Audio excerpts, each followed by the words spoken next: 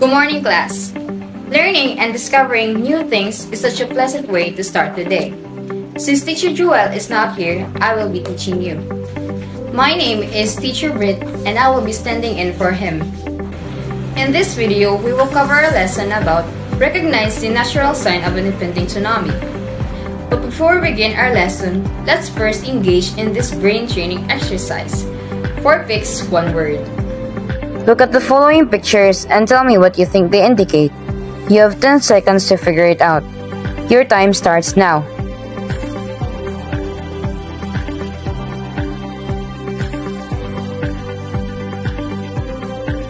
Time is up. If you correctly recognize the picture, you probably already know what our lesson will be all about, and it is tsunami. But in the end of this video, you're expected to learn these competencies. Competencies. Identify what is tsunami and seiches. Where is a tsunami most likely to happen? Can animals sense an impending tsunami? How can we reduce the risk of a tsunami? And the different signs of an impending tsunami. Let's first define tsunami. So what is tsunami? Tsunami is a Japanese word that means a sense of great sea waves caused by underwater earthquake, landslide, or volcanic eruption.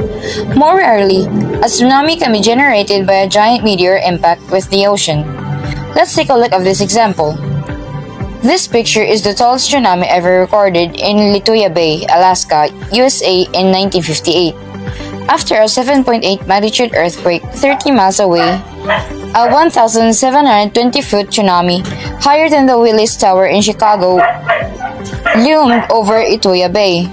After we define a tsunami, let us also define a seiches. So what is a seaches? Seiches are like small tsunamis. They occur on lakes that are shaken by the earthquake and are usually only a few feet high, but they can still flood or knock down houses and tip over trees. Here are some questions that we want to answer in this lesson. Did you know the tsunami is like as fast as a commercial jet? Yes, commercial jet. Where the ocean is deep, tsunamis can travel unnoticed on the surface at speeds up to 500 miles an hour, 800 kilometers an hour, crossing an ocean in a day or less. Let's take a look at this example. Many witnesses have said a tsunami sounds like a freight train. The 2004 Indian Ocean tsunami could rank as the most devastating on record.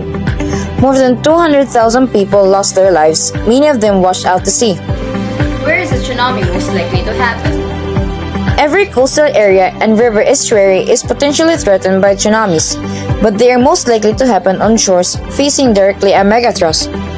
Third, can animals sense an impending tsunami? In any case, many people witness unusual animal behavior before tsunamis and even earthquakes. Let's take a look at this example.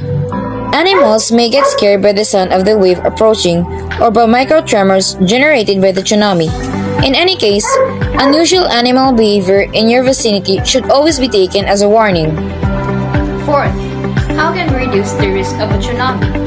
We can reduce the risk of an impending tsunami by knowing its warning signs. Lastly, what are the signs of an impending tsunami? We can detect tsunami using our senses feel, see, hear. Feel. If we feel around shaking severely for a long time, severe ground shaking from local earthquakes may cause tsunamis. See. If we see unusual disappearance of water, a tsunami may be preceded by a rapid fall in a sea level as the ocean recedes. Hear.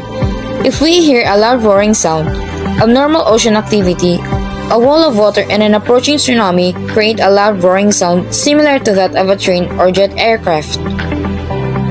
Do you have questions? Any clarifications?